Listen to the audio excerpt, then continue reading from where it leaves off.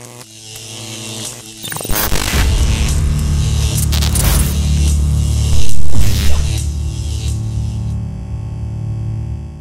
just it feels so good. It, it just feels really good to know that all the all the hard hard work from from the start of season even to the end of last year it just feels so good when all that pays off for this one this one moment.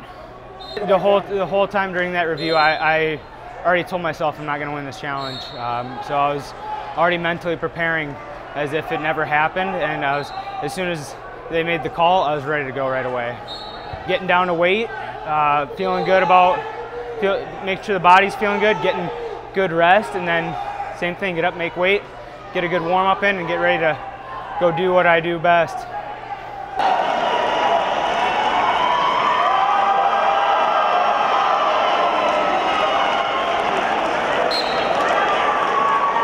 First reaction, I mean, uh, just just pure joy, just crazy excitement. Um, fills my heart, makes me so happy. You know, I'm able to perform and uh, and do what we set out to do. Uh, so, you know, this whole entire year, and it's been great. I, you know, I do it for my family up top. I do it for my coaches. I do it for my teammates. Uh, I do it for everyone except myself, and uh, and that's just how I am. I was I was hoping to not let my mind uh, contradict any part of that match, but uh, after giving up that first takedown, you know, I did. I had a I had a little mental reset I mean, you know, su super short time.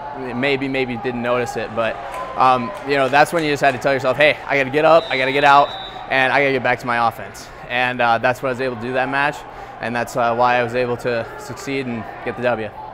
I'm just, I'm just looking hours ahead, right? I'm not, I'm not even looking at my match yet tomorrow. Uh, I'm just thinking, hey, I'm gonna get down to weight tonight. You know, put hopefully some good fluids, uh, some good food in my body, and uh, get a good night's sleep. Um, as for that match tomorrow, I'll, uh, I'll worry about it when, uh, when that time comes.